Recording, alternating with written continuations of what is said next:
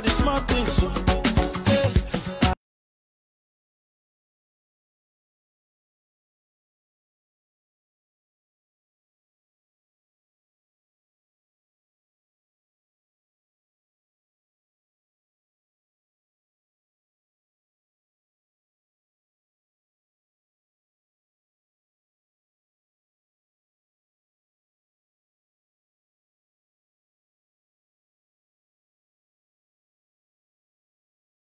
Has over 100 million citizens off the grid and more than any other country in the world. And even where the grid could be available, guys, um, you know, the supply is very unpredictable. You know, they bring it now, they take it out in the next minute.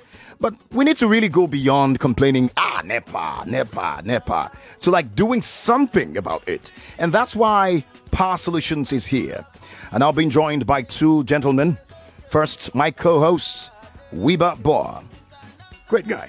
He's joining us live now via Skype. Wiebe, how are you? I'm good. Great, great. I can hear you loud and clear. Fantastic. So, um, you do the honors. I told them a lot about you already. I told them even uh, some of your statements. You you once said that every day should be Women's Day. I just told them. I just just in case. But let's let's get into it. We have a special guest. It'd be nice for you to introduce our amazing guest today as we start Power Solutions. All right, you bet. So our guest today is Trey Jarrard. He's the CEO of Renewvia Solar. Uh, Renewvia is, is, an American solar company, and we had a we have an American guest calling in from Atlanta today. Wow! In wow! honor of D- July Fourth weekend. Um, Hi. So Trey, happy Happy Fourth of July. What were the celebrations like this year? It must have been a bit different. Yeah. No. Thanks for having me. I appreciate it very much. Uh, they were they were a bit subdued. Uh, the the large uh, gatherings the, the, in public places that people are accustomed to with the fireworks were pretty much all canceled. Um, but uh, it was it was a little bit nice. The neighborhoods were full of energy, which is the way I remembered it growing up. So when people used to spend time in the backyards with family and, and doing less planned events, um, is what really happened this year, which was which was actually kind of nice. It's the way I remembered remember doing it growing up. You didn't feel like you had to be going somewhere and paying for something to do something special. You just just enjoyed it with your with your family. Great. Looks like a great, great celebration over there. But let's get back to, I mean, Power Solutions conversation. I mean, what's your background, Trey? By the way, hi to you. And why did, how did you end up in the solar sector? My background is is varied. Uh, I actually started with a biotechnology company, a company that made devices to treat your heart if it wasn't beating correctly. And I, I did that for several years, and and it led me into the uh, to the mid 90s. And it seemed like everybody between the ages 18 and 30 in the mid 90s was working for a company with a dot com behind it. Hmm. This weird proliferation, this thing called the internet was happening, and uh, it was kind of taking over the world. So I was one of those people worked for an internet company and um, benefited from that. It was one of the one of the few that I guess kind of made it through the hype and actually did something afterwards. But um, that was a good experience. Taught me a lot. Um, it led me to a, a, private equity group, which is kind of you know it's taught me how to um, value companies, uh, raise capital, start companies, acquire them, uh, and grow them. I did that for a lot of years, and it kept me moving around um, constantly. Uh, and, and when we sold our portfolios of, of technology companies, gave me a chance to kind of look around a little bit, uh, t- t- decompress. Uh, I had a young family at the time, uh, and look around and decide what I wanted to get involved in, and, and something that actually I felt like made a difference.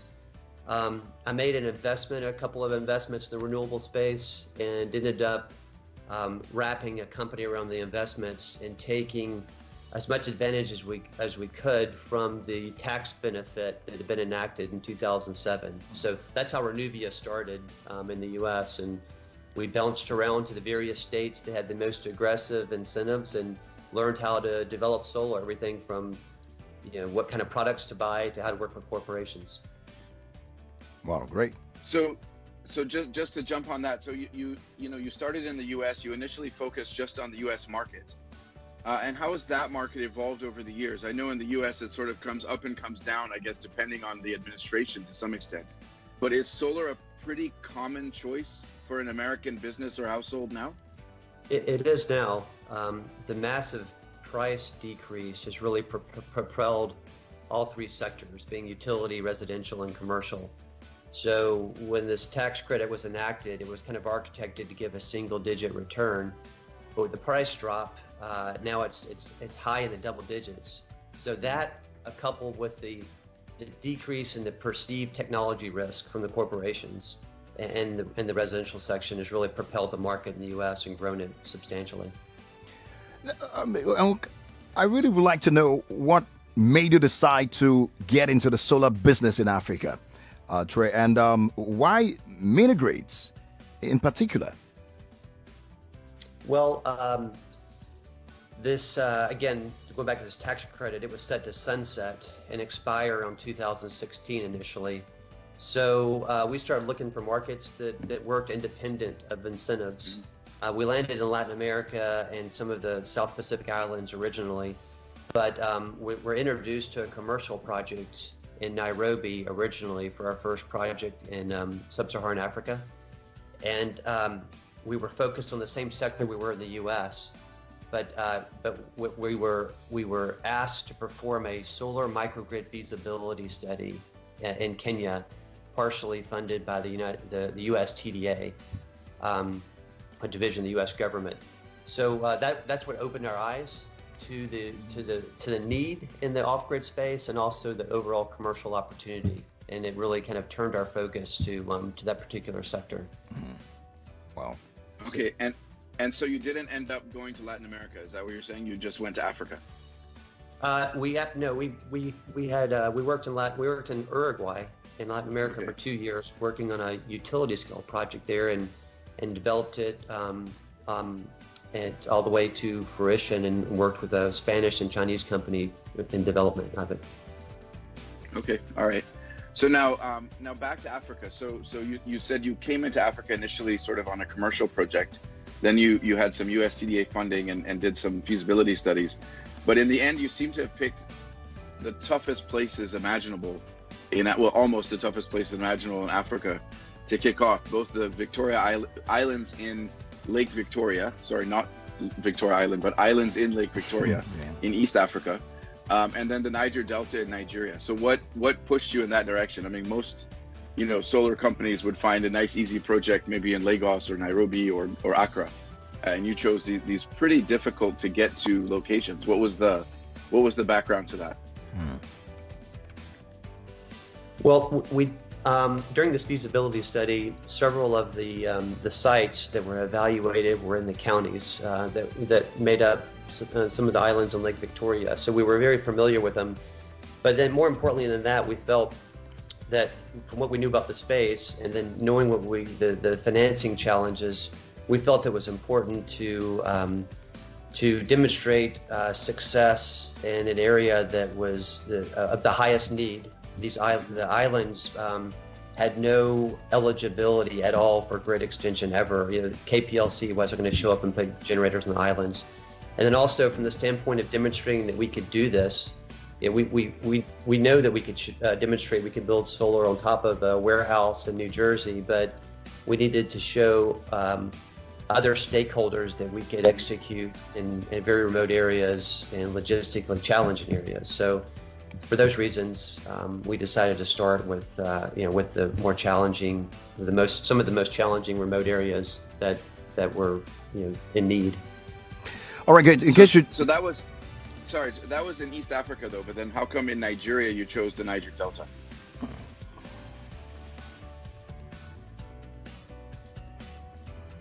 Oh yeah, well some of the same reasons. So um, our country manager Chris Ebaware is from uh, is from Warri and uh, had a lot of he was very well connected and very very much understood the need in a lot of the remote areas in the Niger Delta. So he educated us on why he felt like this was the best place for us to start, uh, and some of the same reasons, some of the same proof of concept, um, proof of ability reasons. We did that in the islands in, in East Africa. We wanted to start our endeavor in Nigeria in the in some of the remote communities in the Niger Delta.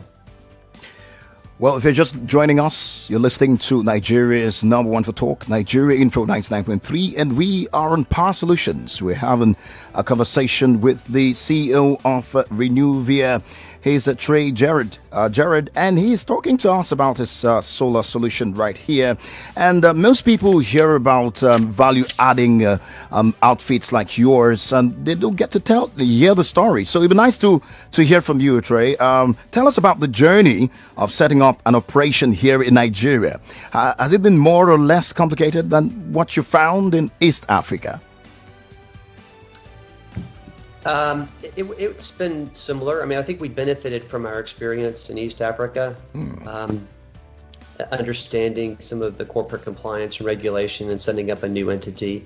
But you know, the this this USTDA grant was was really helpful in in mitigating some of the risk entering new markets for, for a small company like ours, mm-hmm. and um, and to give us confidence to you know, initially risk our capital as well as competence to convince others to risk theirs. So Nigeria was um, was as straightforward as anywhere that we we set up new operations. I mean, corporate compliance is you know sometimes pretty much all the time challenging, and what we've learned is you need to identify good representation, um, and it can help help guide you in those kind of those those the corporate compliance sector and and uh, and you know, make sure that you stay within the lines. Okay, F- pretty fair. Okay, okay. And then, um, how did you pick your first two locations? I mean, I know you're doing mini grids planned for throughout the Niger Delta, but you picked two in Bayelsa. Again, not the obvious first choice. Um, Oloibiri and Akipelai. I hope I'm pronouncing those right. And and how did you pick those? And then how did you get the communities on board? Uh, to, to be ready and willing to, to, to, to host your mini grids? Um, well, again, we a lot of guidance from our country manager, um, and and, I, will tell you one of the reasons why we landed on Oloibiri and Akipelai is uh, some of these areas uh, are again there are uh, have no connectivity to disco or the grid, and, and for, for the most part aren't eligible for it, and, and, and and decades out.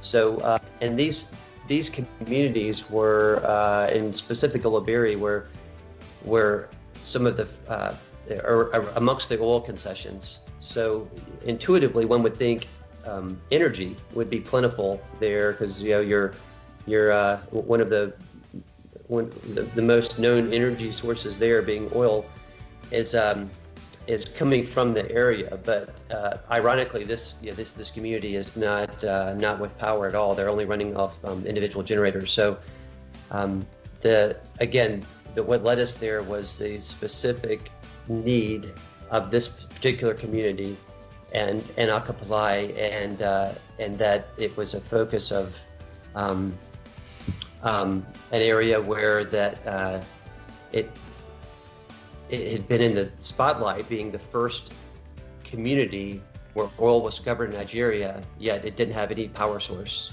So that's what led us to originally starting with those two. Well, a lot of Nigerians listening right now in Lagos and across uh, the country, uh, those who are joining online, will be uh, wondering a few questions, and I hope uh, my next line of questions would be able to answer some of the doubts. Um, uh, tell us about the mini grids that are now operating. Like you mentioned, that of course uh, we've also mentioned that a mini grid's operating, and um, how do they work? And you know, what does what what does it what does it mean to the community? And uh, what are some of the uh, examples of impacts, just so people can have uh, the scope of what's going on with the mini grids? Yeah, the um, the mini grids are comprised of solar um, plus storage, being battery, and and these these two we uh, we have diesel backup because okay. this isn't a perfect science yet. I mean, we're we're me- we're me- um, measuring what we believe is the demand of the community the best we can but right now, these communities have been running off individual generators or sometimes community generators. And uh, we wanted to make sure that our power systems performed per the community expectations, which is why we put a diesel backup. We don't want to be in the diesel business, but we, we want to we want to perform for the stakeholders and make sure that uh, that we're pr- providing a satisfactory service. So um, the majority of the power is generated from the sun, and uh, what excess power we have during the day that's not consumed is stored, and then the community uses that at night.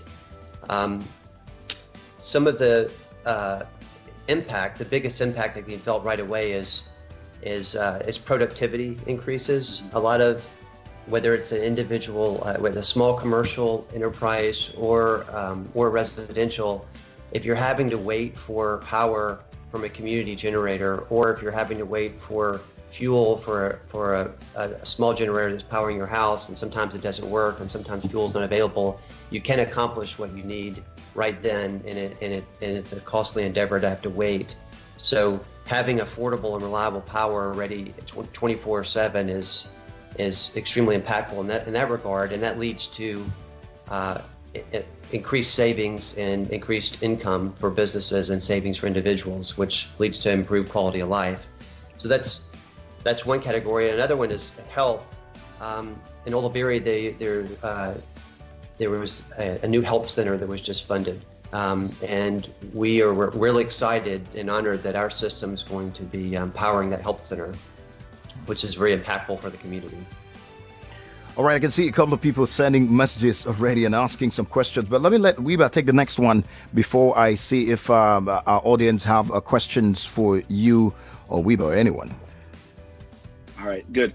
So Trey, and uh, how, how, supportive has the Nigerian government been? I know there's some programs that they've they've put out there, but but how have how helpful have they been to you? I mean, how supportive had they been with the Renewvia journey in Nigeria? Well, uh, the government's been great uh, from regulation standpoint. I mean, this is the first country that uh, a microgrid developer can actually forecast anything really the regulators have really moved out of the way. Um, they've they've enacted regulation that that allows permitting to base uh, to be extremely efficient. So really, in essence, which is the important part, if if you're if you are in agreement with the community, which is really the most important part from the standpoint of who you are, how you're going to enact this, where you're going to put it, how you're connecting to the community, and what you're going to charge, then the regulators are saying that please develop. Mm-hmm. We need this. We need help from the private sector. So, so they listened to the private sector. They enacted regulation that allowed um, this to happen in an efficient manner and, and with some velocity. So uh, they've been, you know, the Nigerian government has actually um, got ahead of this and put some real thought into it and listened to the other stakeholders and, and put the structure in place to make this work. All right, good. In case you're just joining again, uh, we were just a moment. We are talking lighting up the Niger Delta.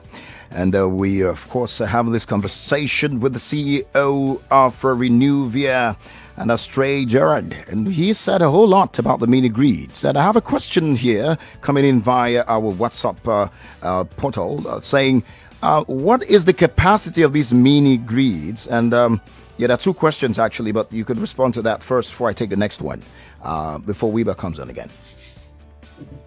Yeah, the capacity is is generally designed around what the community need is. So the good thing, the, I carry the the, uh, the most advantageous aspect of these mini grids is unlike like, solar home systems, which which do a lot of good and there's a place.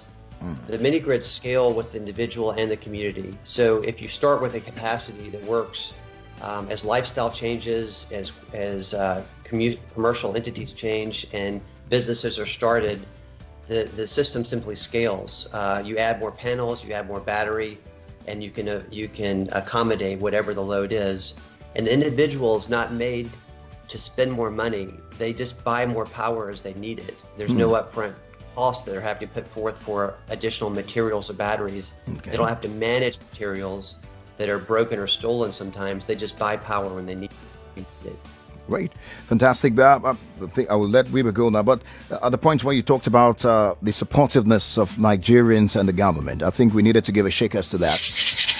Well, this this is what we call shekere. I don't know if you know what it is. You're probably meeting this for the first time. It's called shekere. So that's what we do when we try. We uh, if you've done well, we say well done to you. So maybe at the end of this conversation, I would do this for you. But this one is for Nigerians for being supportive. So Wiebe, um, nice. you should have the next question. I'm glad I got one. yeah, no, no. So, so Trey, I think just to build on that, it's important for listeners to hear this because yeah. I think we're we're often very negative about our government in Nigeria, yeah. and and this is, you know, what one area where I feel like the Nigerian government has has done really well, mm. um, because there's also some funding, right, from the Nigerian electrification program.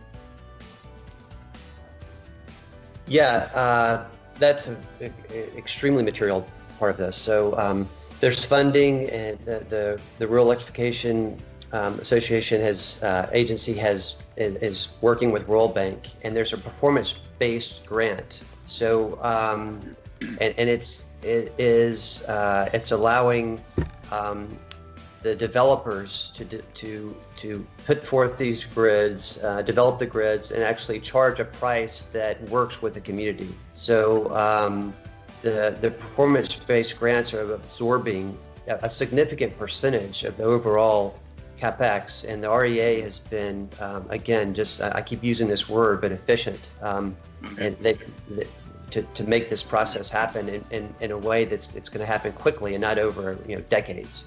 Mm-hmm. All right, if you have a question, just maybe we'll take one or two calls. I see the phone lines buzzing, and um, uh, we'll take just one or two uh, comments from uh, the audience listening. And you can call 0700 993 993 993. Or you can just uh, send us a tweet at Nigerian 4FM Lagos, and uh, we would uh, take your comment and your call. Well, let's uh, wait for that those calls come in, as I can see they're being screened right now. Uh, my next question, of course, would be what's next, really, for uh, Renewvia, and uh, where are your mini grids going up? What's next, indeed? I know if you got the question. Um, what's next for Renewvia um, right now? All right, yes. Uh, I, am not. I didn't quite get that question. Okay, what is next for Renewvia? Oh, yeah, absolutely. What's next for you? What's where? Where else are your mini grids going up? What else? Do you have plans to have more of these mini grids in other parts of the country, the continent? What's next for you? Oh yeah, sorry. Okay, it was, um, the connection dropped for a second. Okay. So we have a we have an aggressive plan. Um, we have a plan to build 1,000 microgrids. 1,000 years, and that might seem wow. That might seem lofty, uh, but the demand is there. You know, according to what you're reading and what source you're looking at, the just in Nigeria alone today, there's over 10,000 microgrids that are needed to support the demand in these remote communities. Hmm. That doesn't include other countries. So, uh, so in, in short, we have an aggressive plan, and we've been working on that for, for a few years now. And we want to we want to build a large um, off-grid uh, utility, and and and it's gonna, you know, we we want to build thousands of the microgrids, but specifically our plan includes a, a thousand microgrids in the next seven years. All right, great, Tim Weber. Um, uh, well, we our time is fast spent already. Looking at it right now, so uh, we should be wrapping up in just a moment. Uh, before I take your last uh, comments, let's just keep our word. Let's see who's on the line. Hi, good morning. Welcome to Power Solutions. Good morning. My question to Mr. Weber is this: Considering how far the Nigerian government has spent in making sure that we have a a level light in Nigeria, I want to ask, will he say that the country, the government have done pretty well in making sure that we have uh, power in Nigeria as it's supposed to be? Thank you very much. Thank you. He's asking, considering the investments in making sure that Nigeria is lit up, would you say that the government has done pretty well? All right, Trey, I'm not sure. Could you hear that? I couldn't hear that. Yeah, so, so the, the question was um, considering the investments the Nigerian government is making in power, um, are they sort of on the right track? And I guess in your case, if you can speak from the off grid perspective, yeah. not the on grid. Yeah. Yeah, they're definitely on the right track. Again, uh, you know, the government was looking to the the private sector to help solve this problem, and uh, they're they're on a better track than anywhere in the continent. Wow, that's that's quite impressive to say. Really, really impressive to hear. I most, I know most Nigerians will be like, "Oh, really?" you need a shake. yes, ab- absolutely. but I would, I would want Trey to pronounce it the way we call it here. It's shekere. Shekere. Could you try that? Shekere. Great, great. Another one for you. so, gentlemen, our, our time is fast spent. I wish you could stay there all day. I mean, looking at your faces alone is inspiring, but we have to go. So, uh, what will be your parting shots, both of you? Uh, let me just let uh, Wiebe take it from here, and then I just shut up. So yeah, so Trey, I mean, you're saying a thousand mini grids for Renewvia in the next seven years in Nigeria, correct? Yes. Well, yes. Seven years in Nigeria and, and other places, but Nigeria has the highest growth projection simply because right now the structure that, Ni- that Nigeria has put in place. All right. So I think that's very good news for us to end with yeah. that Renewvia, uh, and, and it's one of many countries that are looking at opportunities like this, are going to be lighting up hundreds and maybe up to a, a thousand towns, small towns in all over Nigeria wow. with solar. So that so that even while everyone is so focused on fixing the grid, um, in many cases it's going to be these sorts of off-grid communities that get power first. So thank you very much, Trey. Uh, thank you for taking the risk and jumping into Nigeria, and and also for being so excited and bullish about Nigeria. Um, it's it's it's really um, inspirational, and I and I hope that you will be the first and that many others will also follow and come in and, and try and do what you are trying to do. So thank you so much for coming on the show today. Yeah, my pleasure. I can't wait to get back there. I'm looking forward to these travel bans being lifted. Great. Right. That's it, Wiebe. Thank you again for being a part. Next week, we'll be here again with yet another interesting guest. And don't forget to join us at Happers 11 for another episode of Power Solutions. Well, from this side is au revoir On va se voir alors. In Other words, bye for now. We'll see you some other time. Ciao. All right. Absolutely. Thanks, Collins. Have a great week. And you too. Thanks, Colin. Absolutely. Cheers. So that's how much we have. Let's pick some bills. After that, you'll be listening to the news, and that will be it for me. Wouldn't you rather stay tuned? My name is Collins. Take care.